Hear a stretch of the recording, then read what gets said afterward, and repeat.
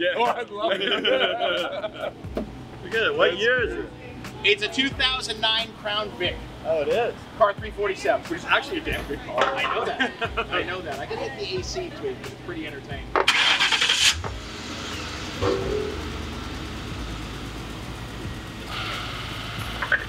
yeah. yeah.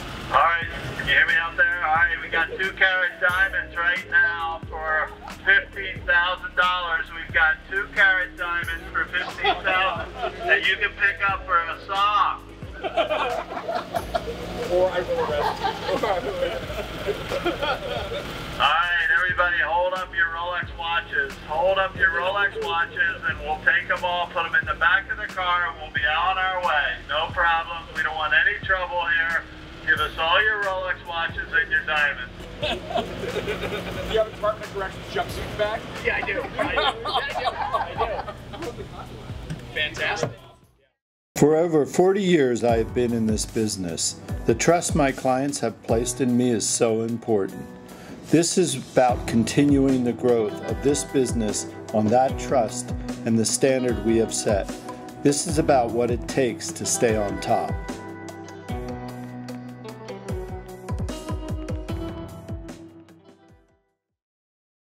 Okay, so case case in point, this is a 186 carat opal that Oliver absolutely fell in love with, and uh, as he's wont to do, he just finds stuff, and whether it's like a smart business decision or not, he'll buy something he really likes just because he likes it. You know, he wants to find a nice home for it. He wants to he wants to right the ship. So we had it for a while here, and eventually Oliver brings it to Rodney and says, "Hey, uh, make this into something." So Rod did the bezel on this. Hey, Rod. Hey, bro. So this is this is Rodney. He is uh, one of our jewelers here who specializes in fabrication, and this is his work. So um, take me through it, Rod. What, what do you think with that? I remember this thing. Oliver basically handed that to you as a raw stone. Yeah, yeah, and, and he says, "Hey, make a make a, a border to go around it," and I sweated it forever. I don't know if you can see that. But look, look, look at all the Now, the, the Beautiful, opal's man. stunning. yeah. So it's uh, as you can look at the box, you can see that it's uh, pretty It's old. legitimately old. Yeah. Yeah, 186 carats. I Oh. made this like my first year here. How many hours you have into that bezel? Uh, 10, 12. Wow, really? Yeah, That's crazy. yeah, because you can see where I had to figure out where to put the points to To, to, to hold yeah it. to hold it and not drop it. The blues is what gets me, man. yeah. Back's not so bad either. So, Now it's an amazing stone. so the, the, the stone um, in Au- Australia, where this is at, ev everything's underground. It's desert. So the housing, everything, it's all tunnels, man. Like the, the pool hall, everything's there. If you want to go drink a beer, you got to go in the ground. I love it. Yeah, he uh, had great, great plans. You can sell that silk too, man. Yeah. Yeah. So all the watches and the jewelry up front. The back here, we do all the repairs and manufacturing. Uh, I've got every tool that I need to do anything in the jewelry industry. Lasers, microscopes, steamers, you name it, we got it. So if you got need something done, this is a place to bring. There's people passing by. There's wait. Because they're gonna judge me. You're so mean. Hi, I'm Corinne Smith. Um, I'm part of the second generation. I grew up coming here as a kid. We did a lot of filing and wrapping presents growing up, so I've been in the business a long time. I took a little time off to go follow one of my passions, horseback riding, in college, and something I still do today. We ride competitively in Arizona and California, but mostly I gained an inspiration for colored stones and gemstones here in the industry. Growing up and traveling with my dad, we would go, you know, to Thailand and all these different countries, and I'd watch him sort stones. And it was like so cool because these stones come out of the earth a different color just because one trace element changes. And I just thought that was so awesome. One thing I wanted to discuss was um, trying to figure out a way to take these really pretty bigger sapphires. These are all sapphires. Um, the blue and the pink and the yellow, um, and make it into a bracelet like this, which has, you know, it's kind of a simple tennis bracelet, but um, nobody makes a nine by seven millimeter head to set these in. And Uh, so we'd have to have the blank made and then set our stones in it. And we could we could make the blank here, but I don't think it would be economical for us to do it. So I, I want to take it Yeah. um, out of the store. What are we doing with what's what's up with this lot that we're doing? So these ones, um, Yeah. Corinne picked out and wanted some earrings. So we have that sort of set up for you. Oh, cool. Okay. Um, white gold. Is that a diamond you're adding in there? No, No. no additional stones. Okay. Um, just some movements like a jump ring there so that the bottom moves. Darted prongs to sort of play off of the angles Mhm. of the stones themselves. And it's topaz and peridot, so I don't want to do it too heavy Yeah. or get price pointy with like added diamonds. What are our thoughts on some of the other stuff? So These guys are gonna be um, earrings too, Okay. so they're gonna match. I don't know if we have. We decided like this design. But, but yeah, we're gonna spread them out like that. We were talking about trying to bring that a little bit closer together yeah, Yeah. to look at.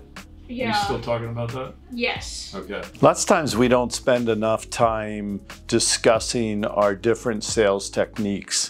When you have a, a veteran staff like I do, a lot of people already have their own style. And um, Ryan's style is very effective. So today we're going to have a small meeting and we're going to talk about Ryan's style and uh, let some of the others on the sales team maybe gleam a few ideas and which will make them better at their job too. we changed our whole profit margin structure with Diamond. We went to a really, really slim margin. The idea being that we're only selling two, three, four, five carat diamonds, so a 10% margin is still a significant amount of money if the stone costs $25,000. So, but basically, like I try to go through the four C's in probably the simplest way I possibly can, and I try to relate it to something that they can understand as well. So, like color, for instance, right? So when I talk about like D color, I talk about like a clear glass of water, right? So it's very easy to imagine that. And when I talk about E color, it's like dropping a, like a little drop of champagne in there, and that's how much the color difference really is, right? And it's very easy for them to understand. And as you keep going down the scale, you add more drops of champagne, right? Until you get to a full glass of the Z, right? And then when I go to clarity on, on a stone, basically I kind of relate it to like uh, like a birthmark. Everybody has them. They're not going to change. They're not going to grow. They're not going to move. They're not going to anything like that, right? What I absolutely love about Ryan's uh, uh, ability to sell diamonds is his um, innate ability to break down these larger concepts into really digestible pieces. I mean, for me, being the watch guy, I've learned so much on how to emotionally sell diamonds, how to connect it to the person, and um, I think Ryan's just absolutely brilliant at that. Last month, we had a very good friend of ours uh, unfortunately get involved with an armed robbery. And uh, not sure what happened, but um, he was shot a number of times. He's still alive, but he's not in good shape. So it's obvious to me that we need to start taking some necessary precautions and maybe reevaluating our entire security system that we have here in place and some of the methods we use to uh, try to dissuade someone from uh, maybe robbing us when they're casing our store and stuff like that. Um, so we went out, we reached out to the Scottsdale Police Department and we asked them to come in. They have a crime prevention division. If we hear active gunshots coming from outside, we're going in. If it's nothing, we're gonna be like, all right, let's let's wait. We'll, we'll do that. But if we hear something or we hear screaming coming inside, like oh, you know, something horrible's happening, we're coming in. We asked them to come in and talk to the staff. And uh, this is in an effort to kind of start to set up some new policies and procedures and get them in place when we feel threatened. So we're nearing completion of our expansion. At this point, they have leveled the floor and readied it for the flooring to go down. We're getting ready to remove this temporary wall after six months. Uh, finally, uh, we have the glass company in here framing all the openings for the glass that'll be in by next Thursday. I can't wait to see the lights up top. We've got this um, incredible ceiling here, and it looks like it's almost plumbed out for wire and light. That's going to be absolutely amazing. Most importantly, I can't wait to get a chair. That's going to be great. I've been. Uh, We, George has been without a chair now for six months, so it's a little, he's a little testy about it. So if we come back here, you can see the watchmaker's clean room, Ben's clean room.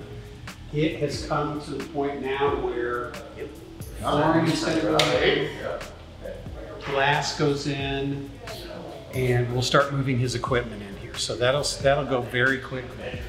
And then the last part of the project, you do the installation of the spiral staircase. And that'll go in this area. with- It really will. It has one turn up to the landing. yeah, right on. So- looking like something. Well, it is. It's starting to look like something. We are about two weeks away.